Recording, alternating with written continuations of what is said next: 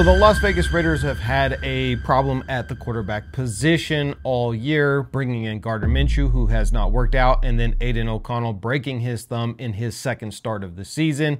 The Raiders had to go out and find another quarterback or bring up Carter Bradley off the practice squad. However, according to sources within the Raiders, the Raiders coaching staff did not have a whole lot of confidence in Carter Bradley. He is not ready to come up into the NFL as a even a backup at this point. So they go and they get Desmond Ridder. Yes, we already know this. However, what you didn't know and what nobody is talking about is according to these same sources within the Raiders, Desmond Ridder so far has greatly impressed the coaching staff and even general manager Tom Telesco and his staff since coming to the Raiders only a few days ago. In fact, when asked about whether or not Desmond Ridder would have a possibility of starting against the Kansas City Chiefs on Sunday, Coach Antonio Pierce had this to say. I know he just got here, but is there a scenario that you can see one way or the other where Desmond Ridder might be on the field on Sunday?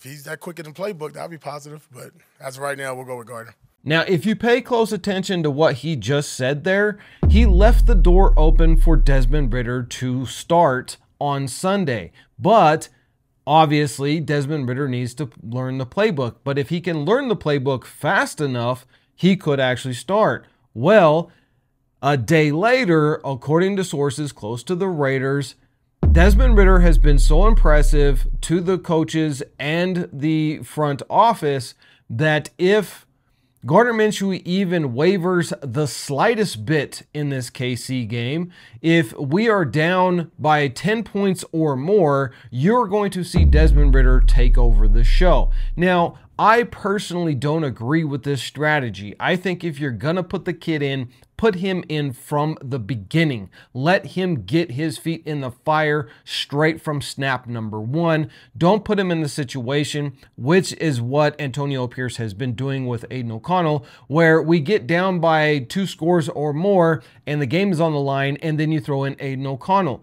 The same thing might be done with Desmond Ridder. I would prefer that the Raiders, if you're going to go with Desmond, if he's been so impressive so far that you're even considering doing this, just go ahead and do it from the beginning. And speaking of doing things from the beginning, have you guys entered to win your $300 Xbox Go Smart AI gimbal that we're giving away here on the channel? This is the second one we're giving away. The grand prize winner was last Sunday. And if you guys want to enter to win, all you got to do is is like this video, make sure you're subscribed, and comment down below draft 2025. Yes, comment draft 2025. Blah, blah, blah, blah. Yes, comment draft 2025 down in the comments below, along with all of your other comments, and you'll automatically be entered to win. We'll be announcing the winner of this grand prize soon, but we're also giving away t shirts of the Just Win Baby Maxx Crosby Silhouette Dry Fit $50 value. If you guys want to enter to win to that, you just do the same thing. Comment down below, draft 2025. Make sure you're subscribed and like this video, and we will select a random winner. We just gave away a t-shirt just the other day, and one could be coming your way as well. Now let's talk about Desmond Ridder and what he brings to the Raiders. We've already talked about him a little bit, but I want to go a little bit of a deeper dive as well as talking to some of the people within the Raiders organization and how they feel about Desmond Ridder moving forward. Desmond Ridder had a lot of hype coming out of the draft from the Cincinnati Bearcats over to the Atlanta Falcons.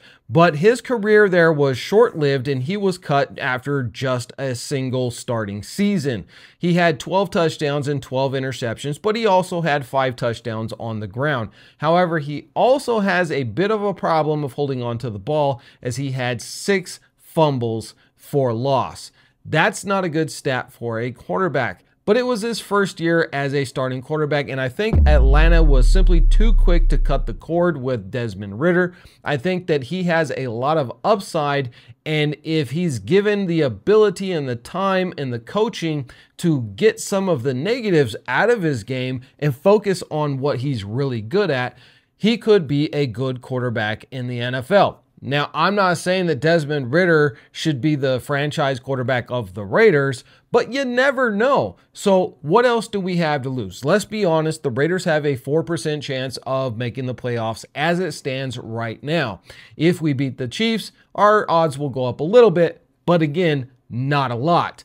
And therefore, I think you really don't have anything to lose at this point. You know that Gardner Minshew is not the franchise quarterback. He's not going to be the franchise quarterback. And you kind of just got to cut the cord with him and put him on the bench for the rest of the season and make him a backup quarterback. Maybe even drop him down to the practice squad, hoping that somebody would come and pick him up if they lose their starting quarterback and their backup quarterback is simply worse than Gardner Minshew. I don't think that that would happen, so you're probably better off just keeping him as your backup. However, I also believe that Aidan O'Connell, when he comes back, deserves another shot. And so it's really going to depend on how Desmond Ridder plays. And according to the sources that are breaking this news, Desmond Ridder will be starting most likely next next week, especially if he comes in for Gardner Minshew, say in the second or third quarter, and he does admirable. If, if he has a good game, if he doesn't make a lot of mistakes, you will see him against the Cincinnati Bengals next week, and then we'll have the bye week, which means he'll have more time to really get acquainted with both his receivers as well as this playbook and get it dialed in so that when we come back out, we can see how he can really do and see whether or not he's a guy that we're going to want to keep around. Now remember, we pulled him off of the practice squad of the Arizona Cardinals, so he is cheap and you could easily sign him to a couple year deal as a backup quarterback. Um, and then depending on how Aidan O'Connell is, whether or not you want to keep AOC, maybe put Desmond on the practice squad or put AOC on the practice squad and then go draft your franchise quarterback in whether it's a Cam Ward or Shedeur Sanders or somebody else. I really don't honestly think in the first round there's anybody in college football right now that's going to come out in the draft that is going to be worthy of a first round draft pick other than Cam Ward and Shedeur Sanders. I think everybody else is a second round, third round type of draft picks, and some are not even probably going to come out this year, so we'll have to wait even another year to see them. So if the Raiders are in a position to draft their franchise quarterback, I really hope that it's going to be a Cam Ward, but I would not mind a Shedeur Sanders. In which case, you've got to make a decision. Listen, Gardner Minshew's not going to be here next year. We're going to get out from underneath his contract and cut him. He is not worth the money that we are paying him.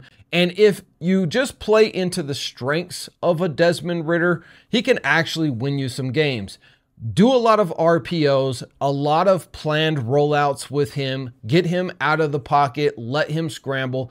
And one of the benefits of Desmond Ridder, especially over Gardner Minshew, is he's six foot three and he is faster. He has better pocket awareness. The only thing that with him is he tends to hold the ball a little bit too long, and that is what has caused him to have fumbles in the past with the Atlanta Falcons. If you can clean that up with him, if you can run plays where he's not holding the ball for four or five seconds and get the ball out of his hands quickly, or have him scramble out for first downs, then Desmond Ridder can be very effective in this offense. And I think he's actually a better fit for Luke Getsy's offense than Gardner Minshew or AOC combined, simply because he is much more athletic and he is better at throwing on the run than either Gardner Minshew or Aidan O'Connell. And so if you get a lot of those planned scramble outs, if you get a lot of those RPOs where you know it's a run pass option, he can make the decision at the line of scrimmage, which he's very good at doing then you can have some success, and that's going to open up the run game. He also can throw the deep ball pretty well. So I'm pretty excited to see what Desmond Ridder can bring. This is his opportunity to shine. Will he take the reins? The coaching staff has been very impressed with him, and the plan is to move forward with Desmond Ridder for the foreseeable future, at least until Aidan O'Connell's thumb is completely healed and Gardner Minshew is on his way out the door.